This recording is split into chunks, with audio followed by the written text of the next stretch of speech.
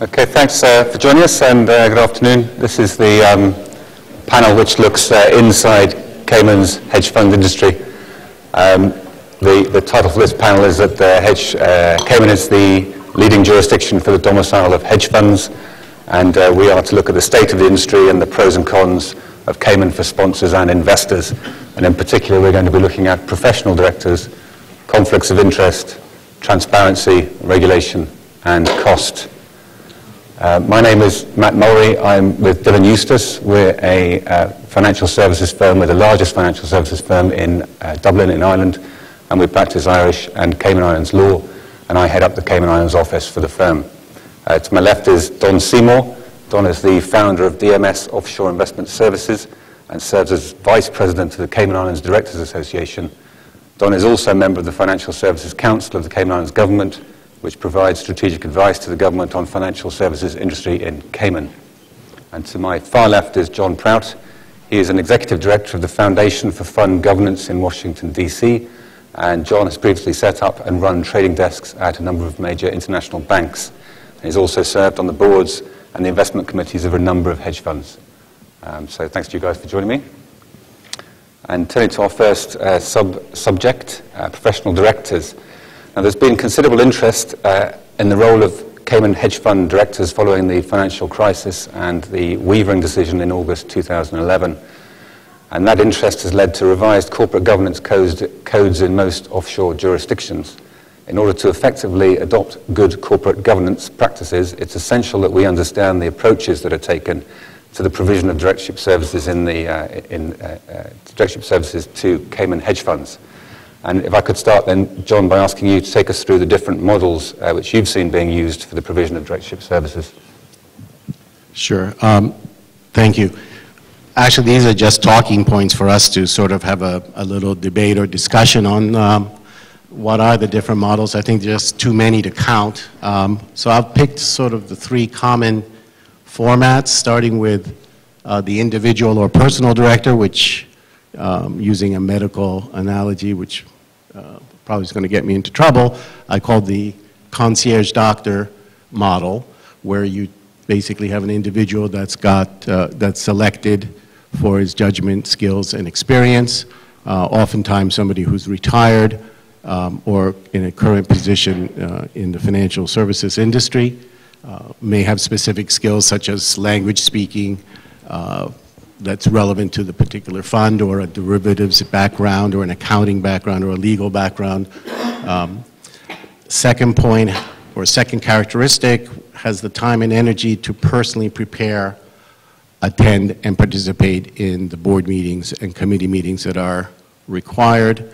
And third point or characteristic, likely to remain independent since the likelihood of, of, or since he doesn't have to rely on director fee income for his livelihood. Um, and perhaps more importantly for those directors in the United States, personally liable, personal assets on the line uh, in the case you're found negligent as a director. Um, and probably in most cases uh, familiar with the manager and with the investors. This model has some weak points. First of all, such directors, if they're not resident in the domicile where the fund has been set up, may not be licensed and certainly is not going to be regulated or necessarily known by the local regulator.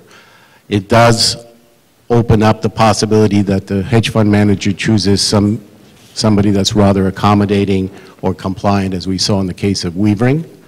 Uh, and third, uh, more often than not, probably lacks the experience uh, in AML, KYC, and the compliance and legal and regulatory issues that concern um, a, a, fund. The second model uh, is more the boutique that we're becoming familiar with, uh, which is a partnership structure basically of, if you keep the analogy, concierge doctors.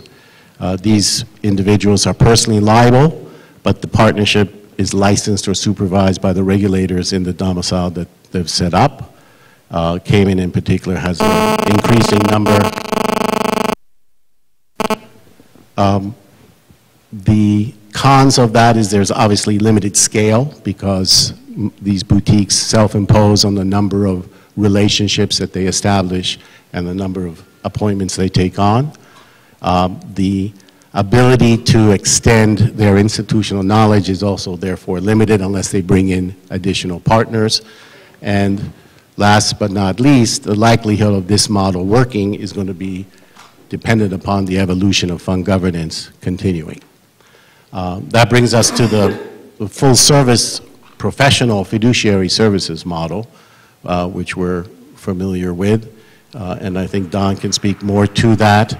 Um, we would just make a couple of points that it's been the most popular model for probably a business, two business reasons. One, it's priced for it to be attractive to hedge fund managers who are cost sensitive.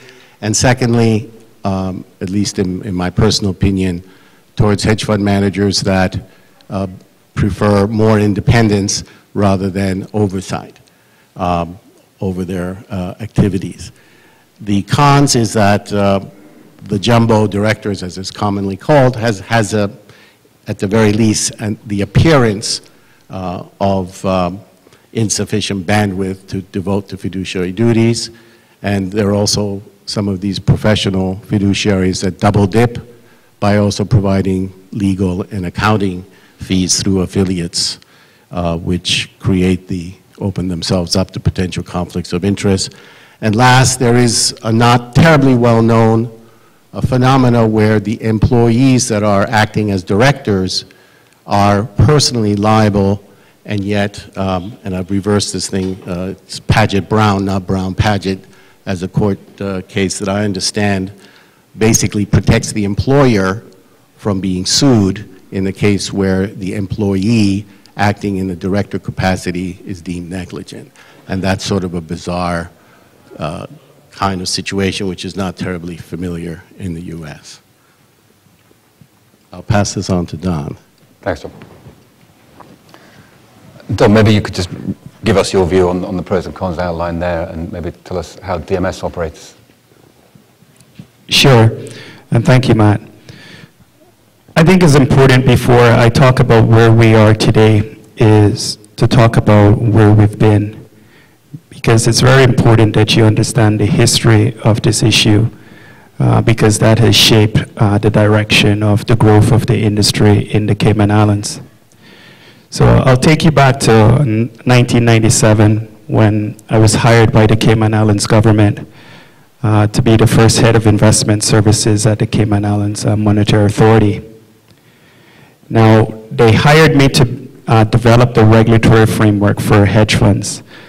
And back then, uh, the Cayman Islands didn't appear on the league tables in the hedge fund industry at all. If anything, we might have crept in uh, uh, to number 10 on a league table 1 to 10. So my job was to write all the policies and procedures, hire all the staff, set the general uh, policy direction for the hedge fund sector in the Cayman Islands. And as I did this, and the industry started to become very successful, I saw that in addition to attracting the good funds, we were also attracting some bad funds. So back then, I was responsible for the entire sector, so I was responsible for authorization, supervision, and enforcement of the hedge fund sector. So I had to take enforcement actions against the bad hedge funds that we were finding in the sector. And what I saw at that time was that the common thread throughout all of those enforcement actions was the fact that the funds didn't have good fund governance. And I rationalized uh, back then that governance needed to improve if the hedge fund industry was going to continue to grow, if it was going to continue to be successful in Cayman we had the best directors in the world. Well, well not, sorry, uh, we had the best administrators in the world. We had the best lawyers. We had the best accountants. Uh, but what we didn't have was good directors uh, back in the late 90s. So I would go out to the industry, I would give speeches, and I tried to persuade the industry that they needed to improve governance practices or we were going to suffer some severe issues in terms of continuing to grow the industry. And nobody really listened because back then, uh, nobody treated governance seriously. So in 2000, I said that I was going to do this myself. And I set up DMS in 2000. We were only one person uh, back then. And DMS grew from there uh, to over 200 people today. Uh, we're in six offices around the world and we uh, represent client funds with over you know 275 uh, billion in assets. So what is behind that success? What is why why have uh, DMS uh, become so successful? Because a large part of the success of governance in the Cayman Islands has been the success of, of DMS uh, as DMS became more successful, more and more people were attracted to the industry. And today, uh, the Cayman Islands has become a magnet for uh, governance professionals all over the world who are attracted to the Cayman Islands to set up uh, governance services. So it's, it's been a great success story. So what has made it different?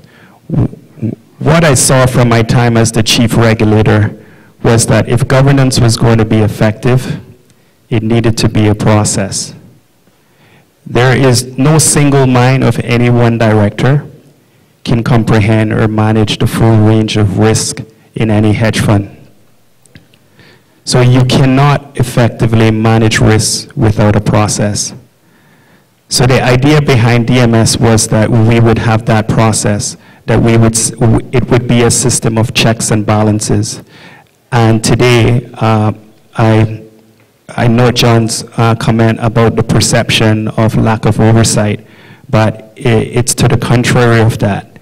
Every single transaction, every single governance transaction uh, at DMS is reviewed three times. So mm, there's a system of checks and balances that really helps help the funds uh, to better manage risk. So as we see, as we see governance evolve, uh, it, some, will, some will say that it is a quantitative uh, calculations. It's X amount of, uh, it's X amount of directorships and X amount of board meetings, and that is the governance formula. That has not been our experience, and we have been uh, doing this uh, longer than than anyone in the industry. It's now been 13 years. So in our experience, what we find is that the governance failures are usually in those services where there is not a process. Whether you're a single director uh, on your own or you're a single director in a firm, you do need to have an effective system of risk management to avoid governance failures. Yeah, just add um, a, a, a, trader and hedge fund manager's perspective, starting actually from 1997, Don, because that was actually when I uh, first went to the BVI. I, I, couldn't afford Cayman at the time to set up uh, a fund of hedge funds. And I met with Barclays Private Bank, who did fund administration, but realized that uh, they really didn't know how to do an NAV. They could just do subscriptions and redemptions. So I then got Mark Chapman at Deloitte, who was the partner, to do the NAV accounting. And then I thought it would be good to get a, his competitor, John Greenwood at KPMG, to be the auditor for our fund of funds. And so we've had a, a real stellar, stellar startup. And um, we totally forgot the idea of a director until I think it was Barclays that said, by the way, you need a director, at which point we said, why? And then we were told, well, it's a company and so on and so forth. And I think a lot of people in the hedge fund industry back then really had that same afterthought reaction of, well, we have to have directors on our offshore funds. And you know, fund governance is not just about directors. Um, I would say that 10 years ago, the hot topic uh, when I was speaking at, at, conferences was portfolio transparency. We started in the 80s and 90s with high net worth individuals as the primary uh, investing group in hedge funds. And as institutions started to come in, they wanted to know well, what's in the portfolio? It wasn't good enough to say, trust me, don't worry, I've got the best stocks that I'm going to have, or the best uh, credit derivative, blah, blah, blah. So the demand for transparent portfolio transparency was the first real driver by the institutional investing community. Then in 2008, it became custody. Custody, of course, triggered by Madoff, because all of a sudden those assets that were custodied weren't there. And then in 2009, as people tried to get out of their investments during the 08 crisis as liquidity dried up, the issuance of side pockets became to the forefront. And that's when the institutional investors focused on directors and saying, well, how did this happen? We wanted our money back, and all of a sudden they've been suspended for a year, or we're only getting 80 cents or 70 cents on the dollar, and the rest of it in this funny paper called the side pocket, and so on and so forth. So we've had a transformation in the industry where we've gone from different stages as far as uh, governance is concerned, and it's all been institutionally driven. Um, so, and, and to this day, uh, and, and my favorite comment is of a New York lawyer who sets up a lot of hedge funds. He said the problem is that hedge fund managers still refer to their business as my fund. And it's not their fund, it's the investor's fund. And when you're talking about very strong-willed hedge fund managers, it makes the job of a director very tough. And you know, that's why we have the different models, that's why we have the different approaches. Uh, you have people who leave the Goldmans and Morgan Stanleys of the world and basically say, I'm free of my bosses, I'm an entrepreneur, and I don't want to have to account to anybody except my investors. They're either going to like it or not, and they'll walk if they don't. And they don't quite understand that to receive institutional money, particularly from tax exempts, that that privilege of managing or investing money comes with a responsibility. And whether it's going to be driven by independent directors, or whether it's going to be driven by the investors themselves, or the hedge fund managers wake up, or worse, the regulators step in, it will occur uh, over time. Thanks, John. Well, one of the issues that we're, uh, we're we'll consider on this panel is also conflicts of interest. And uh, uh, a, a, classic conflict arises with one of the common types of directorship services firm uh, that, that's common in, in Cayman. And that's where a, a, law firm sets up its own fiduciary services company, which I think is the HMO model that John refers to in his slides. Uh, the structure of these companies is that the, the law firm partners or the most influential of those law firm partners own uh, the, the, company that's providing directorship services. And commonly there's a, a, direct referral made by the law firm who acts for the investment manager at the establishment of the, of the fund, uh, refers the, uh, uh the, the, directors to the fund directly. And so you end up with a fund that's been established. The law firm is now acting for the fund, having moved on from having the manager as its client. And the, the directors who act on the board of the fund have their salaries, their bonuses, their employment uh, heavily influenced by that, by that law firm. Uh, whilst there are other uh, um, services uh, or service providers in Cayman who provide mixed services directors and, and other fund services, I think that the, the law firm and, and the director's business is perhaps one that has become uh, talked about uh, most in, in, in, in recent times. And uh, there's been a move largely influenced by investors away from those types of uh, directors being used on funds and towards split boards where you'd have uh, a director provided by one fiduciary services company and a second director provided by another um, in order to reduce that perceived conflict. Uh, maybe, Don, I, could I ask you how you see those conflicts of interests um, affecting the industry?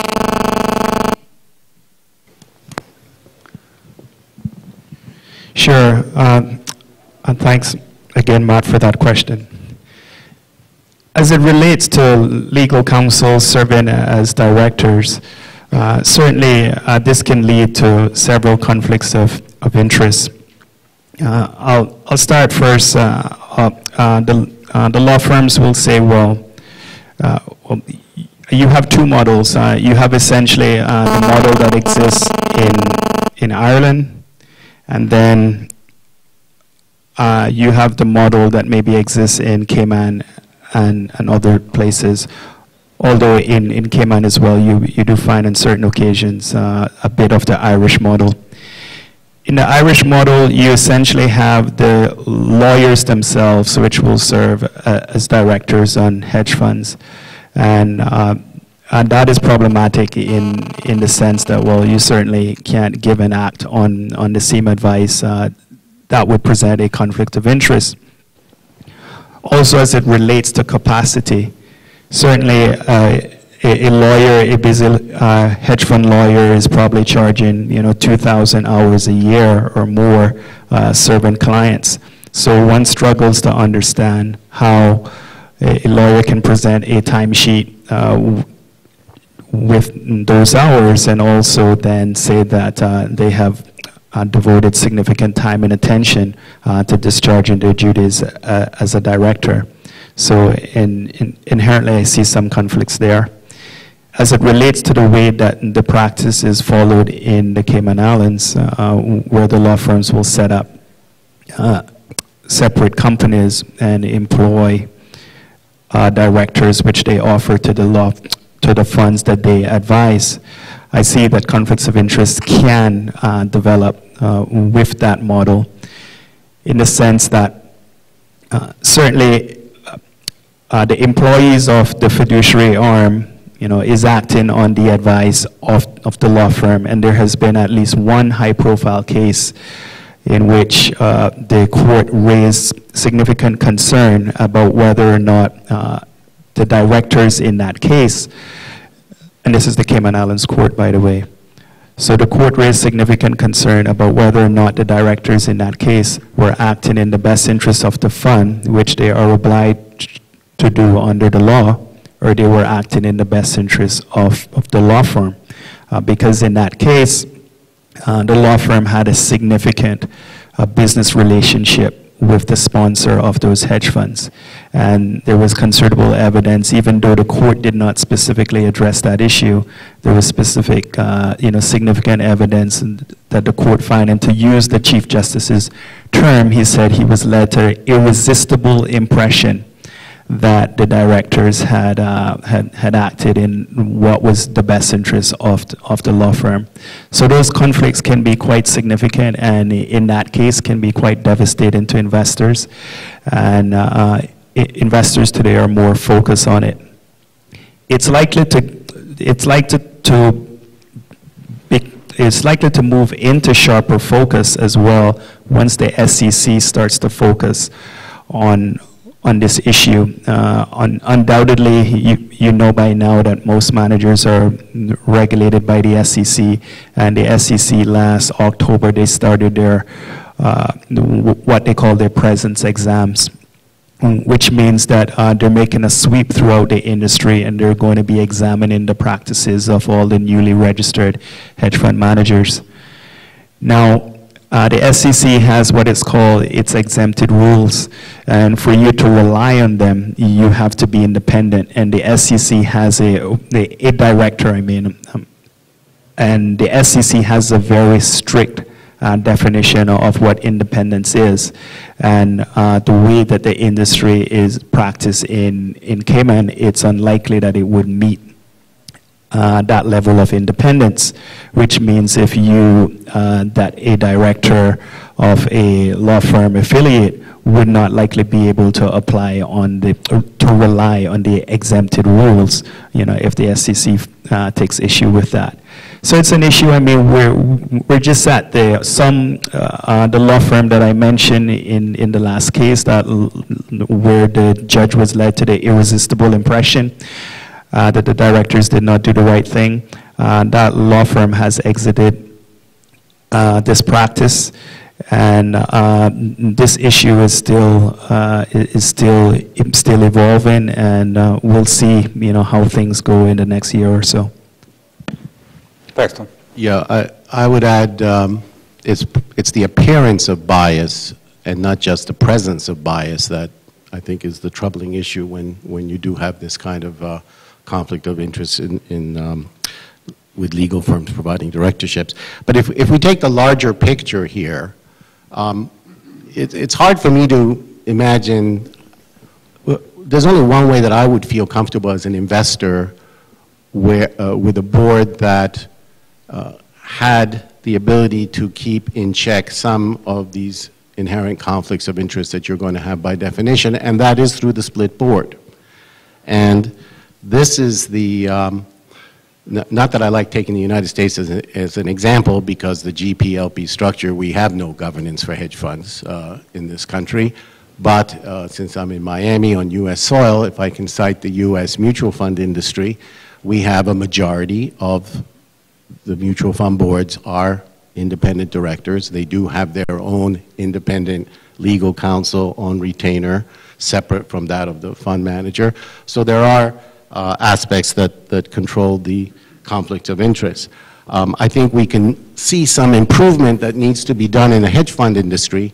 Um, there are, uh, what we've done by data mining the SEC and other websites, we, we combed through 13,000 documents and we have 10,900 directorships that have been identified around the world, um, held by 1,900 individuals on roughly 5,000, uh, sorry, 7,000 funds. Um, 5,500 of the 10,900 directorship positions we've identified are held by the 223 Cayman residents that we have identified from SEC, principally Form D and ADV Part 2 filings.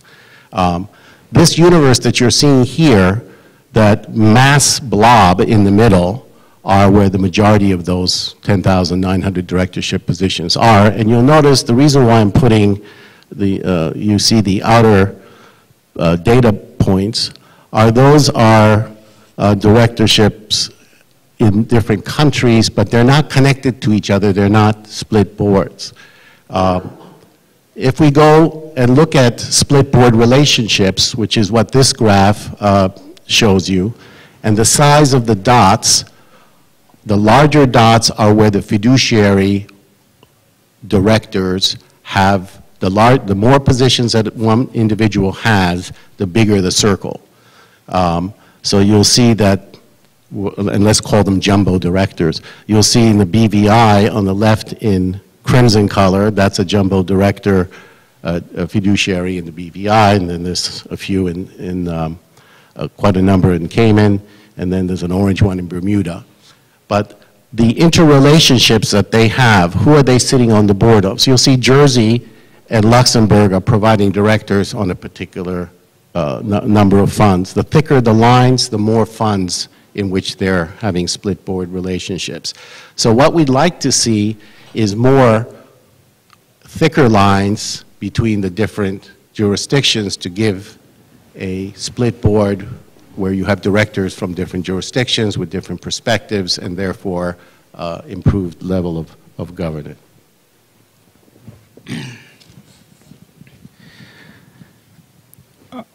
I mean, uh, other than this, uh, there's a, in, uh, I've seen this information before, and I mean, there are tremendous gaps in it. I can think of uh, many service providers in Cayman that would either be, um, uh, would probably be not just Cayman, but actually Ireland and Luxembourg uh, as well, which would be uh, disappointed to see that they're not on, on the list, so it's really hard for me to speak uh, uh, to that information. Um, uh, I think it really needs to be scrubbed and um, uh, maybe uh, do, uh, and maybe a redo is, is necessary. But other than that, when you think about split boards, I think about, well, what are you seeking to achieve? I mean, it, it's a fallacy uh, to say that all directors think alike. Uh, when you build a board, you try to build a board that has a mix of, of uh, talents and experiences. Uh, that's key. Uh, this idea of, of splitting, uh, it's already split. Directors' duties are joint and several. And any director will, will, will tell you that. So uh, this idea that a, a, director is just going to go along with another director, I think it's a silly director that actually does that. Uh, when you look at the way that the hedge fund business actually works and you look at what people want, uh, from their boards. Uh, the boards today are more consultative. Uh, they want people with a mix of, of talents that can help them uh, better run the fund. So uh, you want people on there with regulatory experience, accounting experience, uh, you know, uh, compliance, everything. Uh, you, you, want a range of, of talents on your board, and you should pick your board like you do any other service provider. You, you pick them based on their talent, based on their competence, based on their experience, based on their track record, and also, and this is very important, on an alignment of interests. Now, when I say that, uh, the first tendency is, well, uh, what do you mean an alignment of interest? And I note John's earlier comments about the manager referring to it as his fund, you know. And the idea is, is that uh, all of the service providers need to be aligned. They have to all be working towards the what's in the best interest of that fund. So not just an alignment uh, with the manager, but also an alignment with the with the administrator, uh, with the auditor. Everyone needs to work. It's a fund control structure, and you can't have dysfunction within the fund control structure. If you have uh, dysfunction, it's it will mean losses for the investors. So you you do have to have directors who truly understand that and, and, and directors who are not an, antagonistic to that. If you truly believe that, it, that you can put in some idea of a Superman director who is going to, uh, who is going to uh, uh, mitigate all your risks of in, investing in a fund, don't invest in that fund. If you truly have concerns about uh, the integrity of that manager or any other service provider, then no, no director is, is going to save you. No service provider is, is going to save you. You have generally, any, in the 13 years uh, that I've been doing this, uh, I will tell you that most managers want to do the right thing. Most managers act in the best interest of, of their investors. They instances of fraud and, and bad dealings are actually very, very small. You know, cases like Weavering are very rare. For the most part, you invest in a Cayman Islands fund, that fund is going to be run by people who have integrity. So it really depends on what your premise is. If your premise is that uh, uh, most of the industry is bad and directors are, are, are going to mitigate that risk for you, then don't invest to begin with. I, I think I would uh, beg to differ slightly in the sense that we have a model called trust, which I agree with Don, but verify. Uh, and, we and there are no Superman directors, we agree with that, which is why split boards are an important element of fund governance, in, in our opinion. Um, and in all defense to our database, I would say that every single piece of information we have is backed up by a, a filing with a regulatory authority. Most of them are SEC, and they're all available on our, on our website. Okay, thanks, Tom. Uh, so there's been a, a, call for greater transparency in all financial services industries, and it's been a common call amongst uh, politicians, regulators, and investors. Uh, now, Cayman imposes uh, an overarching requirement to disclose all necessary information to enable an informed investment decision, and uh, the regulator doesn't prescribe specific transparency requirements. And uh, uh, as such, Cayman has evolved a, a, transparency which has been driven by investor demand rather than by regulatory interference. And I mean, John, you can see, has put together a, a large database uh, of information on investment funds. Um, perhaps, John, you can uh, give us an idea of what the key areas that investors should be considering when, uh, when they're looking at transparency requirements or additional transparency requirements from funds. Well, let's first start as to why is this important? Why should institutional investors have more information? And this gives you just an idea of the, as, as Don knows very well, better than all of us, how important Cayman is in the hedge fund world for U.S. tax-exempt investors. Um, if just based on our limited, very limited resources, we were able to download from the Department of Labor and the U.S. Treasury Form 990s filings that are required of U.S. tax-exempt institutions, by which I mean public and private pension funds, university endowments, labor unions, um, city, state, municipalities, and so forth. And not all of those filings, in fact, only a small number of those filings actually detail their hedge fund investments. But as you can see, we were able to take 181 institutions, 180 if you eliminate the one fund of funds in the upper right-hand corner, uh, and identify $145 billion worth of hedge fund investments. And this is actually 2010, December 2010 data, so it's obviously larger than it is now. So if you take a look at some of the names, Pennsylvania Retirement, Carolina, we have very substantial institutional investors that are tax exempt, that are investing in hedge funds, and there's a good portion of what they invest, as you can see in the lower side, Cayman benefits from many, many tens of billions of dollars of U.S. tax exempt money. Um, overall, uh, if I just we have 6,000 funds and have identified almost $4 trillion uh, of investor assets uh, that have been uh, placed in 6, over 6,000 hedge funds. So that's the reason why we want to know what uh, the importance of, um, of the transparency. I just go back. Now, Cayman Monetary Authority is proposing opening up its database. Our attitude is that whether they do this or not, somebody in the public or private sector will eventually get it. And the SEC already provides that in, unfortunately, not a very data-friendly form. So it took us well over a year and a half to get these 10,000 uh, directorship appointments uh, identified. But they are all signed by the directors and their companies noted. So this is not going to be um, something that I think is a big issue. It'll just come out as it is already doing. Thanks, John. And, and Dr. Just, yes. Yeah, sure. Uh, just quickly on the transparency issue. Uh, as, uh, uh as Matt said in his comment that uh, Cayman is a disclosure-oriented regime. Any, it's also a regime for sophisticated investors any investor can get any information that they need to successfully invest in a fund. I truly don't understand the obsession uh, with numbers. If you want my number, I'll give it to you right now. It's 158. Uh, I also I also will tell you the amount of meetings uh, that I do every year.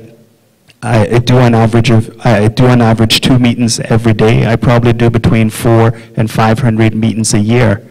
This is all that we do. We are full-time uh, directors. Uh, we're not part-time or retired guys. We're full-time directors working in a professional firm with, with professional people surrounded by sophisticated technology, and we have an unbelievable process that manages risk uh, better than anyone else in the world, and that's why we have become successful. It's just untenable for anyone to suggest that an, an investor can go to a sponsor and be able to negotiate any form of side letter that they want, but not be able to get uh, information from, from a director. I mean, it's purely a you know, solution in, in search of a problem. So the whole idea behind transparency, in my view, it's not asking the right questions. I do believe that fund governance should be regulated. That's why I actually set out on this mission over 13 years ago to do something about improving uh, fund governance. But fund governance should be regulated the same that you would regulate any other service provider to a fund. And there are fundamental tenets of regulation that as, as fundamental as accounting assets and liabilities and, and, and equity. You have authorization, you have supervision, and you have enforcement. So uh, the, I think that we in, in the Cayman Islands should regulate the area uh, in, in a proper way. There should be, there should be a regulation around authorization that only the right people, uh, you know, with the necessary qualifications and so on are authorized. Then you have, uh, you have supervision, which means that it's quite clear what the expectations are of those people. And then in the end, you have enforcement, which is if those people don't act in the manner that they should act, then you disqualify them or you take some other uh, type of sanction against them. So as we move forward, these transparency and databases and so on, they don't address the real issue. And the real issue is this. This is the last unregulated sector in the hedge fund control structure. Uh, let me say again, every other service provider to a fund is regulated except the directors. It's, it's, it's just a gap, and the gap needs to be closed, and you should regulate them the same way you would an administrator, an auditor, a prime broker, authorization, supervision, and enforcement. Thanks, Don. And um, we, are a bit tight on time for this panel. So certain members of the panel need to, to ca catch flights this evening. So uh, um, what I'm going to do is just very quickly deal with regulation and then uh, invite any questions um, that you might have for, for the panel.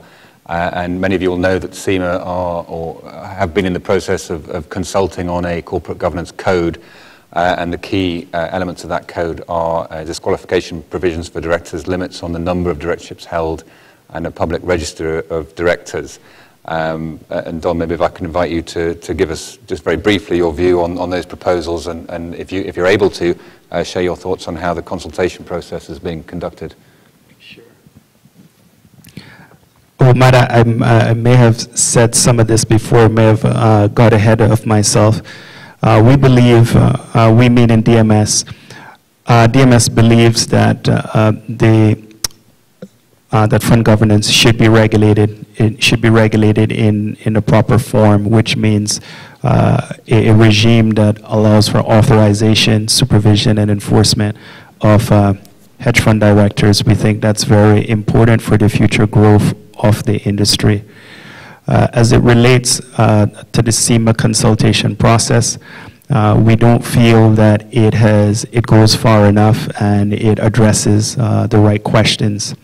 I think that it would be important for uh, the regulator to look back at the experiences in the in the Cayman Island sector and do uh, develop a regulatory solution to to address those concerns.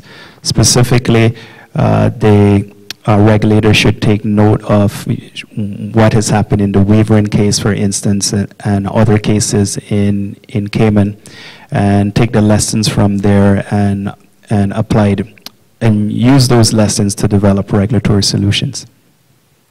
Thanks. And John, maybe you could give us our, your views on the code. Yeah, the only thing I would add is uh, I think from, from an outsider's perspective, it was disappointing that the Cayman Island Directors Association was unable to come up with a, its own response to the Cayman Monetary Authority's proposals. And that's sort of, to me, symptomatic of the situation that we have, that there is a broad uh, mix of opinions and, and hence the reason and importance of having the transparency so not only people on the island can express their, their thoughts, but investors and, and others outside of, of the island, given the importance that Cayman holds as, as virtually 70% of the hedge fund industry.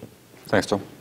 And then, um, just being conscious of time, maybe I could just ask if anyone's got any questions to our panel on any of the issues that we've, we've discussed.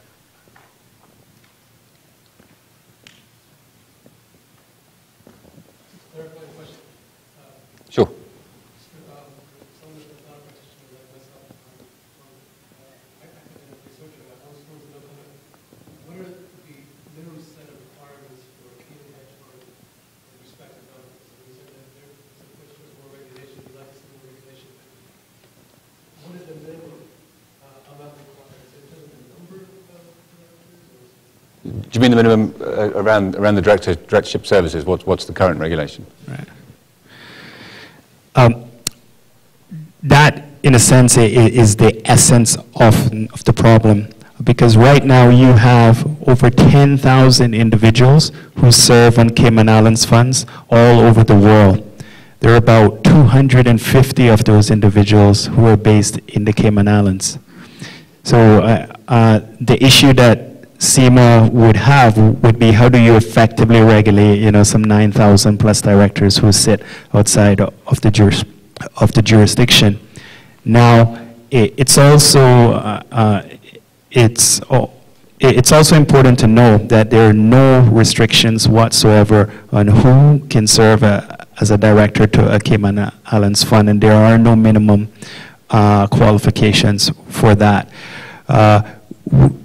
That in itself is not an issue to me personally, but I certainly uh, do take issue with the fact that if someone doesn't do what they are supposed to do, uh, that the regulator won't uh, disqualify that individual.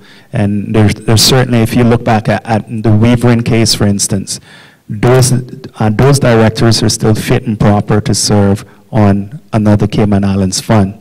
And we think that is an untenable situation and that needs to be rectified. And that the regulator should focus on, on, on, on a regime that will address those issues. Um, and, and that actually proves, I think, our foundation's point that they are able, the Weavering directors can serve on another fund.